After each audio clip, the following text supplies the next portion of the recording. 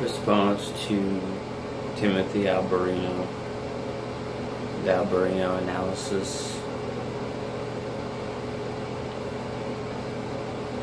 Considering this is very an informative uh, video analysis of, uh, you know, a couple videos I've seen, the Black Eyed Children, America, the uh, Plum Serpent Land, Land of the Plum Serpent, which is actually a really good documentary. You should watch it. It's talking about Christopher Columbus when he came, and you know, actually, Americas, America was actually known as Americas, and it was actually a totally different, totally different meaning. And when it went to the old, it actually translated and correlated and had a connection with the oldest world, oldest living religion, which is actually going into you know Freemasonry and the occult as well.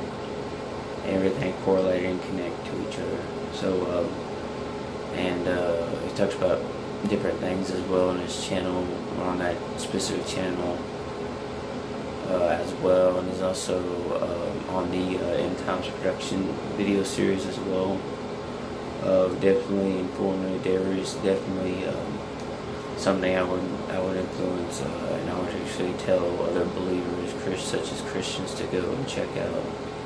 Uh, it's a real eye opener, especially when it comes to uh, Jesus Christ, Christianity, beliefs. Um, what really is founded and engraved in the Amer- uh, America, America's founding fathers, and us, America as a nation.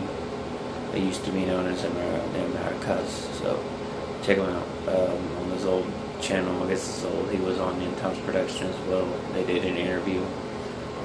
Uh, Timothy Alberino, the Alberino, Timothy Alber, the Alberino analysis. So check him out. God bless. Amen. Paradise. Godspeed.